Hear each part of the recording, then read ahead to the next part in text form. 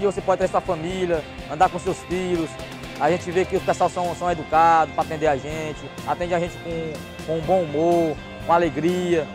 Eu convido a todos que quiserem vir na Ceasa, comprar aqui, porque aqui está sendo o lugar melhor para se comprar.